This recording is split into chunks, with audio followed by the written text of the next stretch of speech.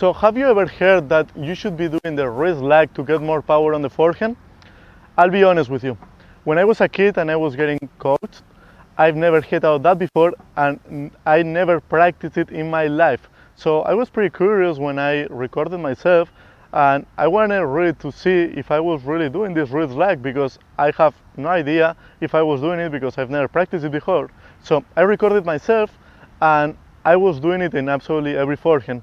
So I started thinking, I was like, why do all these players focus so much on the wrist lag when they do it naturally if they have a right technique? So what we're going to be focused on on this video is we're going to explain you the biomechanics of the wrist lag, um, but we're also tell you how to hit the forehand with the proper technique, so this way the wrist lag comes naturally and you don't need to focus about that by itself. So first thing, what is not the wrist lag?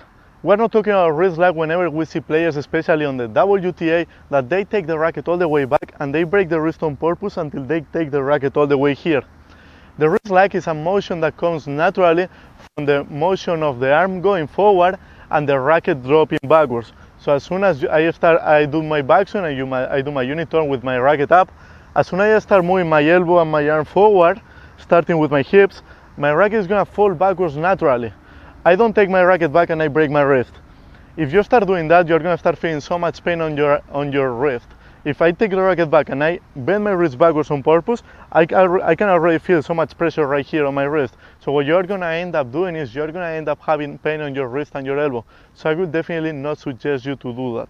So, what's the first thing you're gonna need to do to start to make sure that you have the motion of the wrist lag and you are able to get more power on the forehand? Is you have a good unit turn. So make sure whenever you do the unit turn, your wrist is relaxed. If your wrist is very tight, it's gonna be so hard to get that motion because you're gonna see that even when you start the motion forward, the racket is gonna follow your wrist because it's too tight. So make sure when you go backwards, you open with the head of the racket up, but the wrist is loose. The wrist needs to be very loose. So open with the head of the racket up, turn, and as soon as you start the motion forward, starting with your legs and with your hip, you're gonna see that once the arm follows, the racket is gonna drop backwards naturally and that's what we are talking about the real wrist lag. So, how, how does it look like when we check on professional players? We see that most of players, once they start the motion forward, the wrist breaks completely and the racket stays behind the wrist right here. It's almost like somebody's pushing from the end of the racket and the, and the arm bends this way. But at the end of the day, they never do it on purpose. That's again, the wrist is so loose and that's why the, it looks like they are bending it backwards but they are doing it in a natural way. That's why it's also so important to get a good racket speed. Now, if you do the motion very slow, you're gonna see that it's gonna be so hard to get the wrist lag because we don't have enough momentum going forward. So again, another very important thing is getting rhythm on your forehand and getting enough racket and arm speed. So this way the racket is gonna fall backwards naturally. Now there is another very important thing when you work on the wrist lag. So after you do the unit turn, let's say you open with the head of the racket up, the elbow is far from your body, okay? And you start the motion forward, so you got the wrist lag already. But now you need contact with the ball.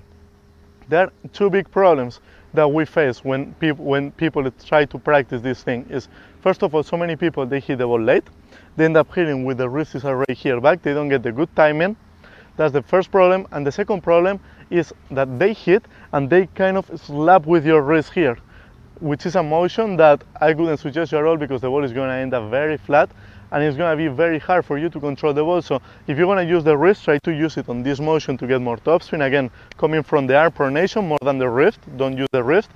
And make sure don't slap the ball with your wrist.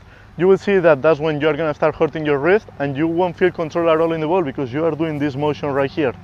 Now, if you feel like you're hitting the ball late when you try to work on your wrist lag, try to time the ball a little bit better and try to think about hitting the ball one second earlier than what you would usually hit the ball.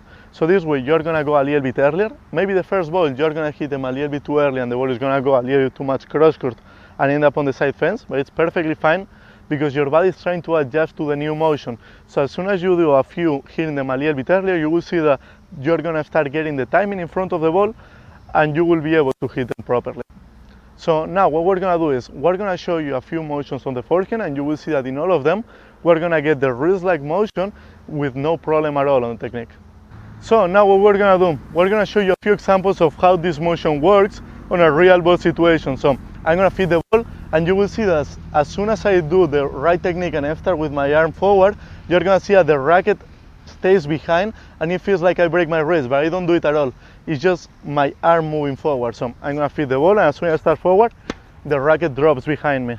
So again, I turn, I go back, and as soon as I start my motion forward, you're gonna see the racket dropping backwards here, and that's what we call the wrist lag here. And that's the way you can get a lot of topspin and a lot of racket speed. So again, make sure when you do that motion, don't slap the ball and bend your wrist here. And make sure that you do it naturally. Don't try to force it. As soon as you try to force it, you're gonna start muscling the ball, you're gonna start to, trying to put so much pressure on the wrist, and you might get injured. Now, if you like our video, make sure you like subscribe to our YouTube channel. Also, also check the links below that we have on the comment section. We're gonna have a free course launching really soon, so make sure you always check it out.